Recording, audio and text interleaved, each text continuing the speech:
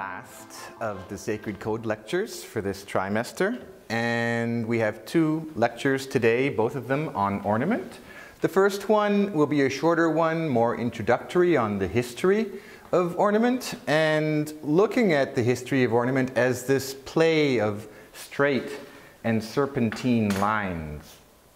Now, we live in Vienna and at the University of Vienna in the late 1800s, you had a professor named Alois Riegl, and he wrote the first real study of ornament called Stilfragen or Stilfragen, uh, which is questions of style.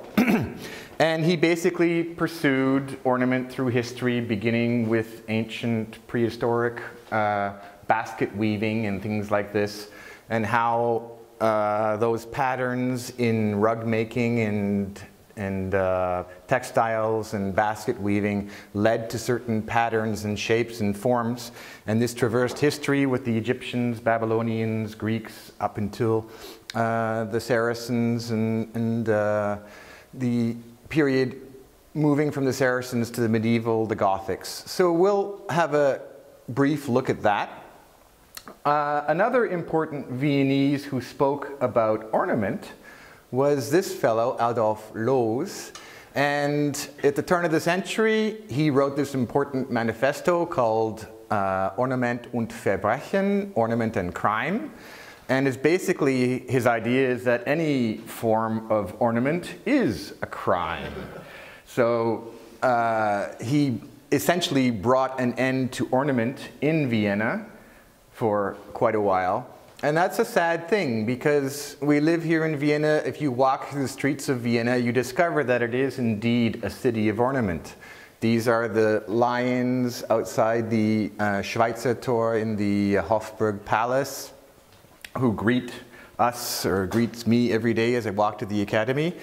And uh, you cannot walk into a building without finding uh, caryatids, these human figures buttressing and supporting uh, the, replacing the columns. and here's more examples of caryatids that you find all over Vienna. In this case, this is from the parliament over here on the left. Uh, another motif, now this is from near the uh, Zentralfriedhof.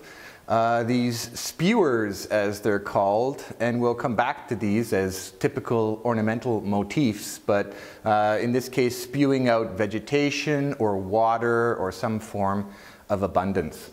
You can find those all over Vienna.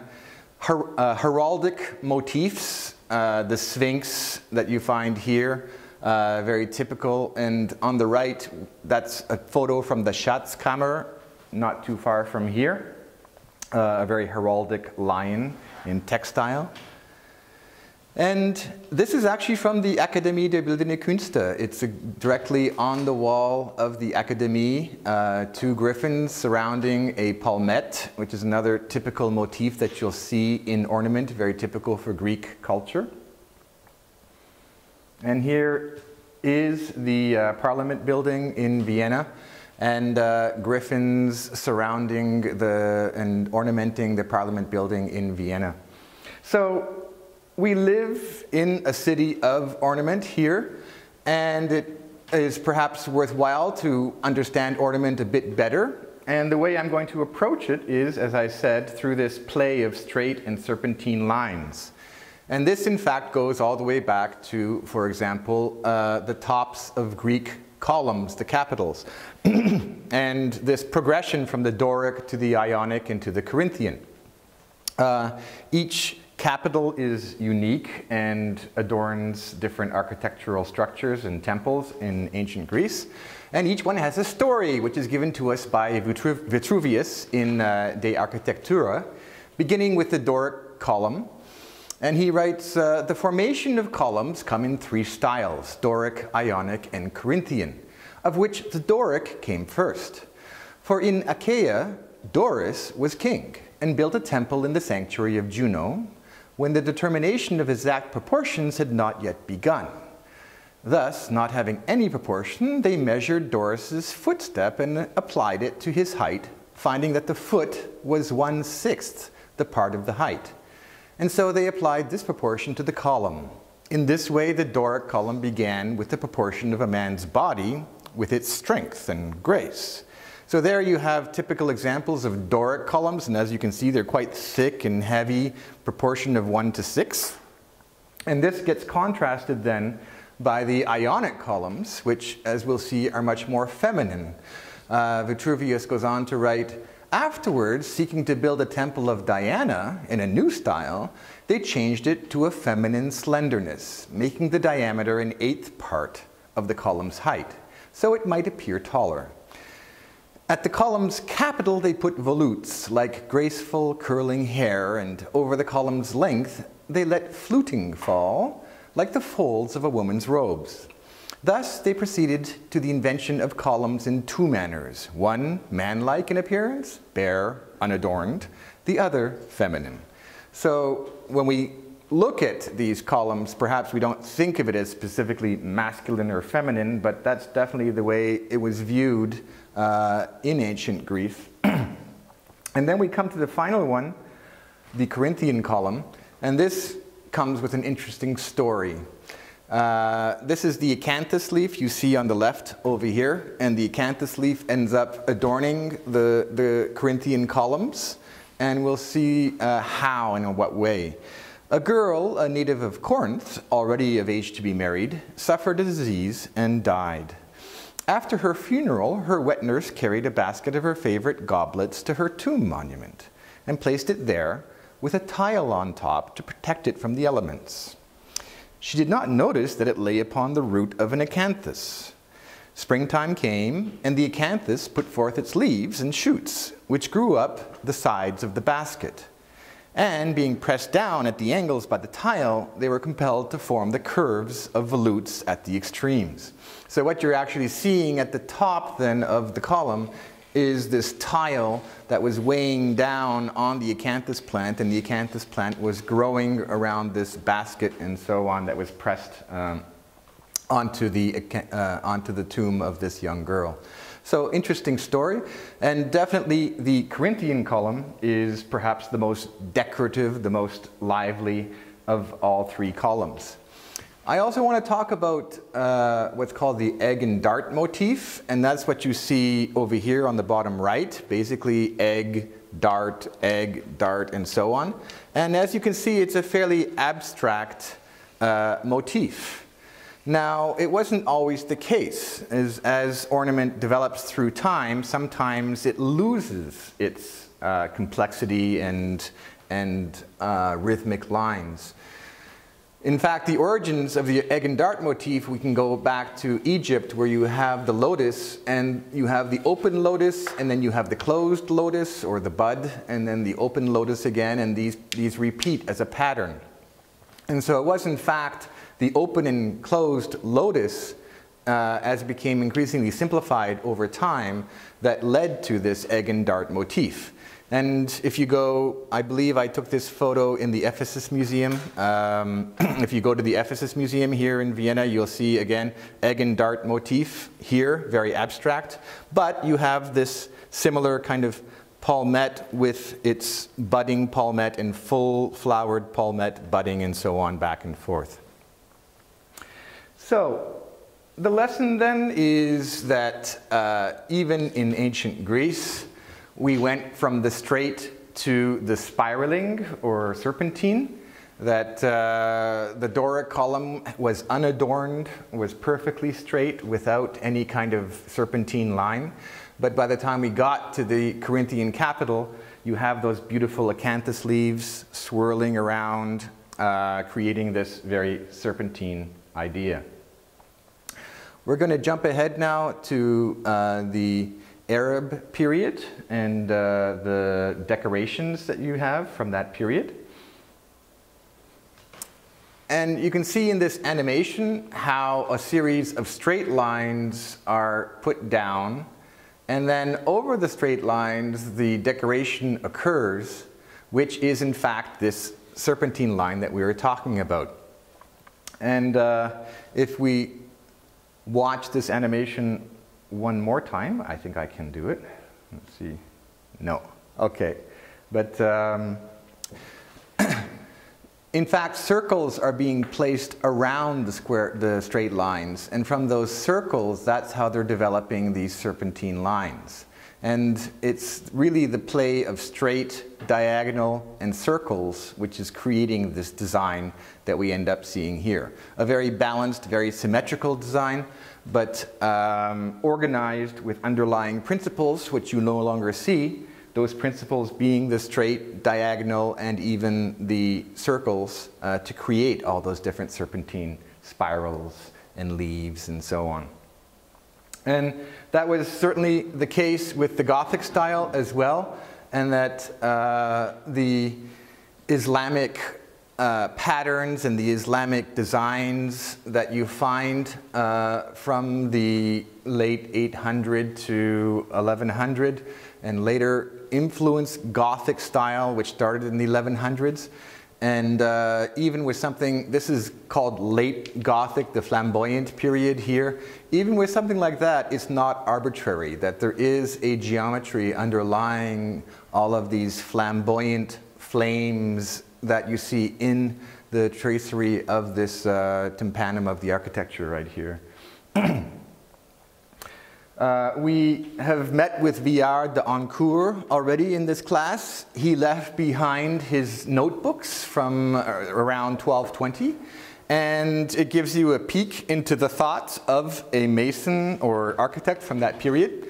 And you can see that uh, he has, in one place in his notebooks, drawn an Archimedean spiral here.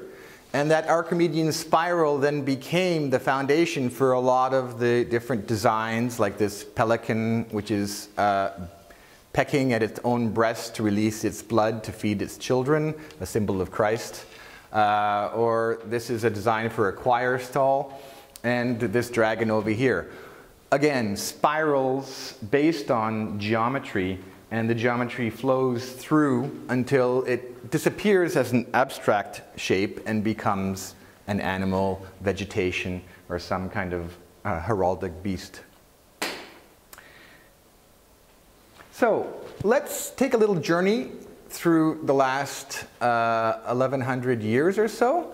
And uh, we can see that as we go from the Gothic period, this is in Italy, the Cathedral of Milan on the left, to, say, the baptistry in Florence in the Renaissance, that the entire aim of Renaissance architecture was to get rid of all of those unnecessary curly cues and tendrils and spirals that you see in the Gothic style. For them, in the Renaissance, the aim was towards a certain geometric simplicity, which, as we said, underlay the Gothic style, but now we're taking away the ornaments and seeing basically the geometric structures. If we go to the interior, this is the interior of uh, the Stephansdom in Vienna on the upper left, compared to the Vatican Library in Rome. You can see the same thing, that they've basically, there is still definitely ornament in the Renaissance period, but they've eliminated a lot of the curves and, and um, extra little uh, elements that would somehow stop your eye and attract your eye. Uh, rather, the straight lines allow your eye to move straight down the perspective without being stopped by or impeded by any kind of decorative element. But that movement towards simplicity and straight lines and so on didn't last very long because the Baroque period came fairly soon after the end of the High Renaissance. And with the Baroque period, they wanted to come back to all that delightful uh, vegetal elements that uh, attract the eye and allow us to pause and move around in a fairly circular way. If you compare these two interiors, uh, the upper left is a Renaissance interior and the bottom right is a Baroque interior. You can see what I mean. That uh, the simplicity and I can argue grace of uh, the Renaissance interior is now uh, changed by as if we had taken nature itself, painted it gold, and placed it in the interior of this Baroque room. Luscious, uh, full of wonder for the eye. The Baroque period could not last forever, and it was uh, superseded by the neoclassical style. And the neoclassical style, of course, wanted to go back to a certain elegance and simplicity. So we go back to the straight line. You can see that, for example, here with this uh, Louis Quinze style furniture of a chair and uh, interiors which have a touch of decoration uh, here and there with certain moldings and bas-reliefs, but otherwise uh, aiming towards simplicity. Jumping through time to the Jugendstil and uh, Art Nouveau uh, period, Art Nouveau being an English word because in France it's simply called uh, the modern style.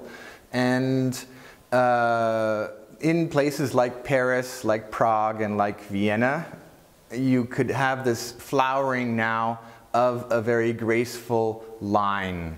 Uh, the Secession building you see at the bottom here, and Alphonse Mucha on the left. Another important center for Art Nouveau was Barcelona, where you had Antoni Gaudi and his famous uh, Sagrada Familia, cathedral, which is still being built today. And it is probably the only cathedral to be built in the Jugendstil style. Uh, we do have churches and so on as well. And you can see that the, the steel has that liquid-like quality, softness. Uh, Salvador Dali called it soft architecture. He was a big fan of Gaudi. Um, Alphonse Mucha, who lived most of his life in Paris but was Czech and returned to Prague at the end of his life, uh, was a master of the uh, modern style. He even wrote a book, uh, Document, Document Décoratif, where he explained uh, his theories behind uh, this decorative style. Here in Vienna, our Jugendstil architect, our favorite one, is Otto Wagner, who uh, a lot of his buildings were on the point of being destroyed because they were considered to be uh, not very valuable. And uh, fortunately, they were saved. Um, his church, the Otto Wagner Kirche, you see in the middle here with the detail at the top, this famous uh, Karlsplatz U-Bahn-Station and the Otto Wagner Villa in Hütteldorf. That was his own villa, and as we know, it was uh, it fell into ruin actually, and then it was uh, acquired by Ernst Fuchs, and it became his private museum as well as his home. So Otto Wagner, then being perhaps the last greatest um, representative of this decorative style. It's, it's still very much straight line, but there is decoration. There are decorative elements. He liked the gold, he liked the ornament. And uh, he worked towards the end of the 1800s, working for the Emperor of Austria and was very much a representative of the, um, of the epoch that we had of the Austro-Hungarian Empire. Adolf Loos, and we can even see in his appearance, represents the turning of the century into modernism. And modernism was really born here in Vienna. Sigmund Freud, Ludwig Wittgenstein, uh, Gustav Klimt, Egon Schiele, a lot of these writers and thinkers were responsible for a new spirit of thinking. And uh, Adolf Loos was a part of that. If you look at him compared to, say, uh, oops, I'll go back. Compared to Otto Wagner, here's Otto Wagner, his mustache is curled up, he has facial hair, he has at least three or four layers of clothing. That was you know, typical for a bourgeois gentleman in the late 1800s. Uh, with the turning of the century, there was a movement towards simplicity, less facial hair, no long hair, the hair was cut short. Uh, a philosopher like Ludwig Wittgenstein didn't even wear a tie. He had an open collar shirt, and this was considered to be revolutionary. Uh, not wearing a hat. that for a man to go out in public without a hat was considered to be very extreme, and yet they went out in public without hats, right? So this was their kind of radical rebellion against the old ruling epoch, which collapsed, right? That with, this, with the First World War, uh, the entire Austrian-Hungarian Empire collapsed. And part of that revolution then was Adolf Loos, and he built this building here at Michaelerplatz. So it is exactly opposite the Hofburg uh, Palace, which being the symbol of the Habsburg monarchy. And he designed it in such a way that aside from these flowers which you see here today, basically there's no ornament, there's no decoration uh, around any of the windows. and this was considered to be uh, blasphemous at the time. The, the emperor proclaimed, it has no eyebrows.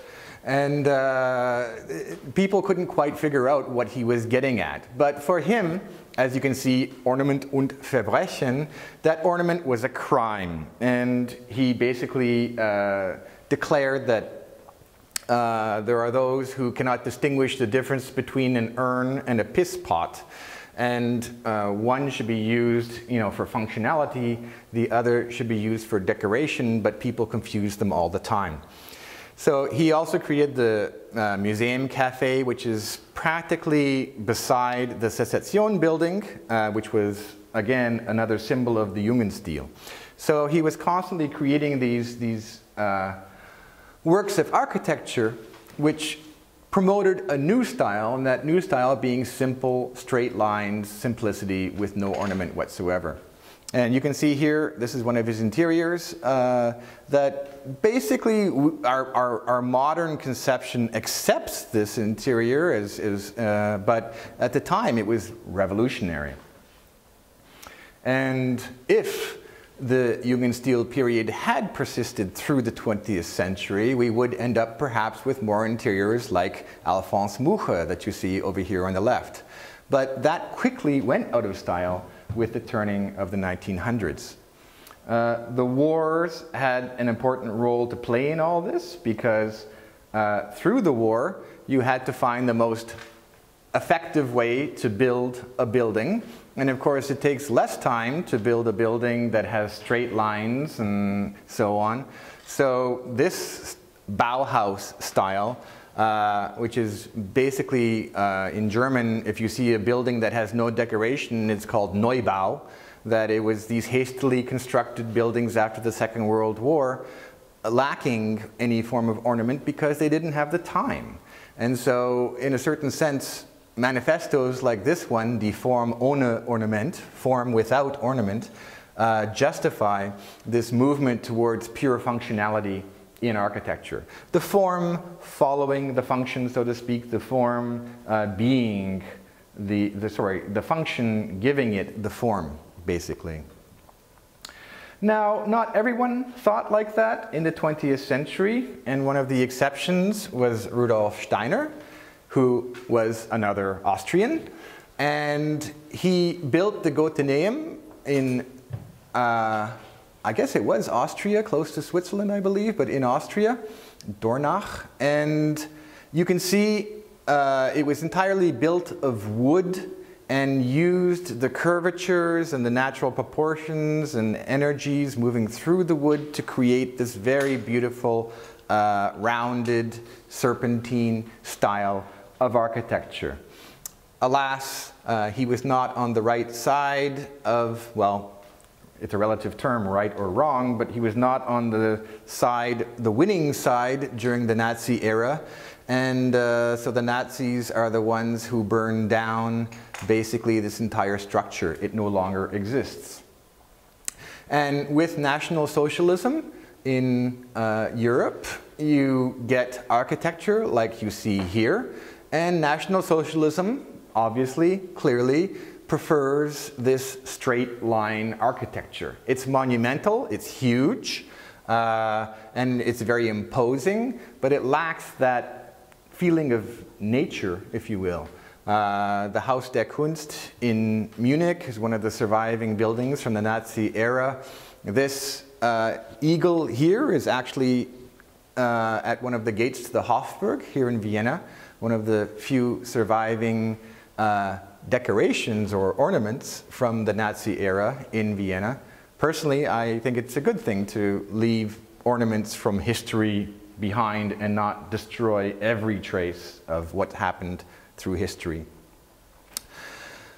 The Viennese then in the post-World War II generation naturally rebelled against National Socialism and uh, one of the greatest rebels against all this was Hundertwasser, Friedensreich Hundertwasser. And he wrote his own manifesto, Verschimmelungsmanifest gegen den Rationalismus in der Architektur. Uh, Verschimmelungs being uh, moldiness, going moldy, uh, when something is left to rot and change and metamorphose. And uh, he was all in favor of, as you can see, the, the, the bent ruler, getting rid of any kind of straight line and moving towards all sorts of curves and swirls and spirals and so on. He was especially fond of the spiral in his paintings. So uh, with Hundertwasser, then we have that, that final, if you want, uh, say against the straight line and some kind of movement towards the curving line. Our own Professor Ernst Fuchs has also uh, journeyed into architecture he acquired the Otto Wagner Villa, but next door he created his own architectural structure, the Nymphaeum Omega Chapel. And uh, he also wrote a book called Architectura Celestis, Images of the Hidden Prime of Styles, where he explains a lot of his theories about architecture. And for him, uh, architecture was not so much a protest against any kind of period in history. Rather, it was an attempt to go back to all the periods of history and find the core elements that have existed and persisted through time. Uh, so he's not afraid, for example, in his Nymphaeum Omega Chapel, to give you a uh, column capital, excuse me. And uh, you can see in this column capital that uh, he's returned to the idea of something like an acanthus leaf that there is vegetation that's growing. He's, he's elongated it in a fairly Jugendstil style. He was a child of the Jugendstil era and uh, always kept that in his work. Um, we'll come back to this face in a moment. Two faces in profile joining as one face and then here as we see spewing forth some kind of liquid. So he was very much aware of the history of ornament and the history of architecture and trying to revive in his own unique way a lot of those elements. Uh, the interior of the Otto Wagner villa has his paintings, but also his furniture. And he became interested in furniture design and designed furniture as well as many other things, fashion and tapestries, wallpaper. The wallpaper which you see, and these photos are taken directly from the wallpaper in the Ernst Fuchs villa, uh, give you an idea of his decorative uh, tendency, very much inspired by Alois Riegl's book on ornament and, uh, and pursuing the laws of ornament, which is to say that uh, heraldry, symmetry, uh, profiles, these all play an important role. And you can see the symmetry, for example, in this design here. Very vibrant with beautiful curving lines, but it's not totally chaotic, right? There are certain principles underlying these designs that give them a certain order. So, I would like to finish this uh, talk then with some examples of ornament, but I will use the work of Ernst Fuchs as kind of a thread to find our way through the labyrinth of ornament and uh, looking at plant, hieratic plant and hieratic animal motifs.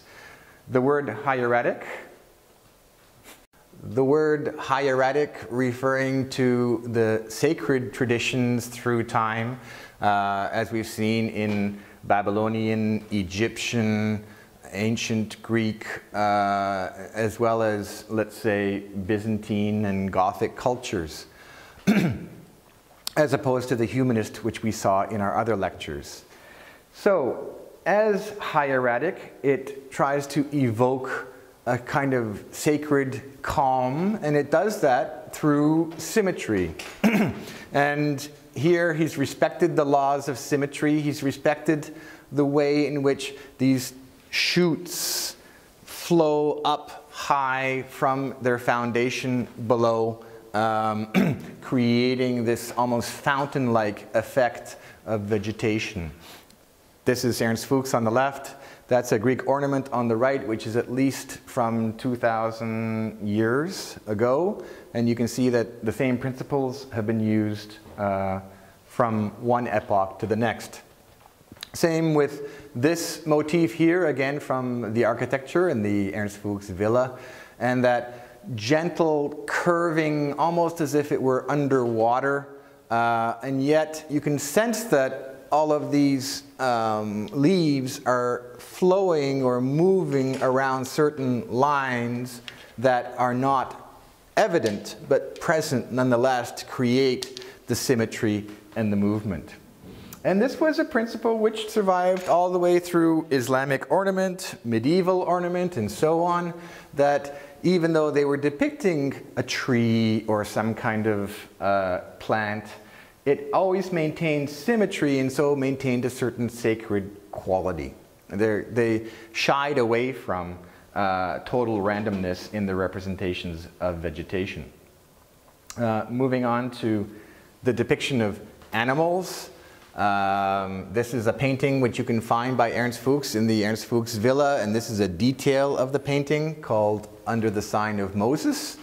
And you have this slumbering beast who is clearly inspired, I think, from Sumerian and Babylonian um, decoration. And this is actually a very small little sculpture which I photographed in the Louvre and in Paris, and uh, he has a larger, older brother, which are the famous, famous uh, winged door guardians from uh, Babylonia. And these winged bulls, massive, immense, uh, hieratic, that they perceiving uh, the animal as the archetypal guardian such as even uh, the angelic beings in the heavens assuming the form of lions and griffins and bulls.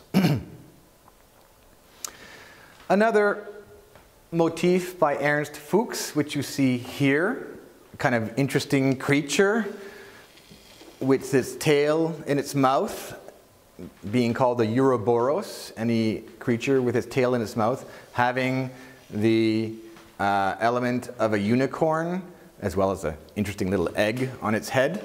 Now, when he drew this figure, he was still following certain principles that are always at work in ornament. If we go to the Bayeux tapestry, which uh, basically uh, documents William the Conqueror and his conquest of England, Uh, you can see that in this time period, 1070, if they were going to depict an animal, and you get these animal motifs all along the top and bottom, that first of all, the animal is in profile, and that was the simplest way to depict the animal in profile. But having depicted the animal in profile, they then preferred to use a kind of an S curve that would flow through the animal. And uh, we could see this S curve with vegetation as well, that, that typically vegetation moves in S curves. And then they would transfer that to the animal so that the head was turned back. And by turning the head back, you're able to get this S curve. And you'll see that it becomes a very common motif to make the head turn back to create that S-like shape, which Fuchs is following here. Um, as well as, you know, here obviously he's about to consume his own tail. Uh, that being a kind of a symbol of uh, infinity, but also the self-devouring, that all of nature is a devouring element.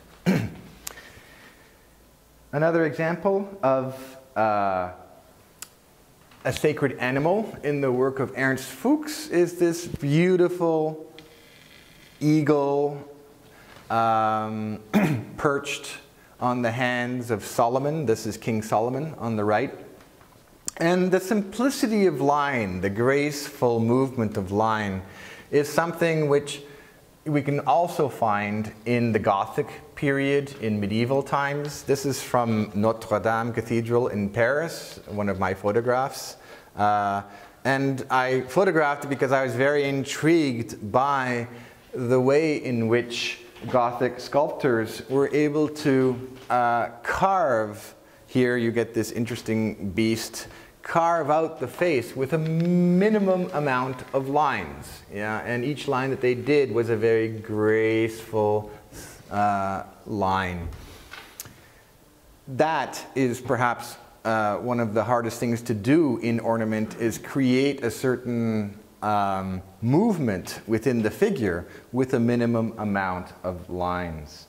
And uh, I'm sure that uh, if there were any Egyptian sculptures in France in the Gothic period, and probably there, uh, actually there would not have been, but maybe some got traded uh, that far, they would have found inspiration in uh, the Egyptian style because the Egyptian style has that same graceful uh, carving to the most simple lines, the S lines, the C lines, and the curves.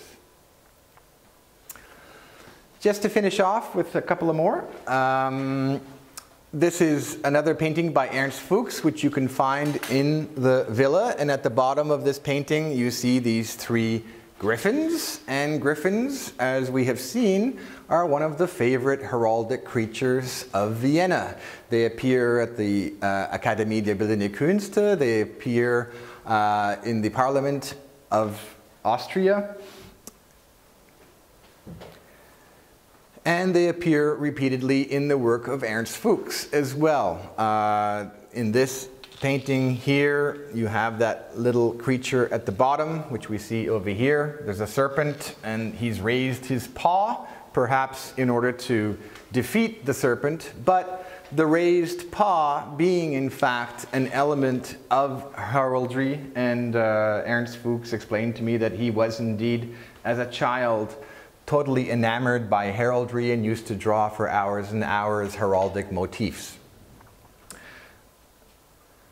The ultimate heraldic motif in Austria being the double-headed eagle because uh, the Austro-Hungarian Empire was a double monarchy that uh, the emperor of Austria was also the king of Hungary. And so that was symbolized by an eagle with two heads. And this idea of the two-headed eagle, we find it everywhere we go in Vienna. But Ernst Fuchs also became enamored by this image and he would use the double-headed eagle uh, in his work.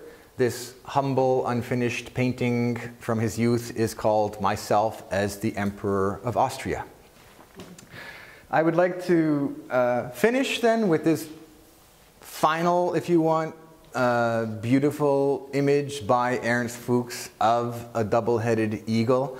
And it kind of uh, explains or manifests how his style did achieve that um, prime, that hidden prime of styles that he was searching throughout his life to try and find a style which traversed all epochs of history. And it's not definitely Gothic, it's not definitely Babylonian, it's not definitely uh, Greek, but somehow it is that one style which has traversed all of history and manifest all those different styles at one and the same time. So uh, I don't know if we can ever find the hidden prime styles. It's kind of like an ideal that every uh, ornament and every work of art strives to achieve. But uh, I think when you look at this piece by Ernst Fuchs, it's like we've come very close to, to reaching this archetypal, archetypal image of the double-headed eagle. All right, thank you for listening for the first lecture, and we'll have another lecture shortly after this to conclude. Thank you very much.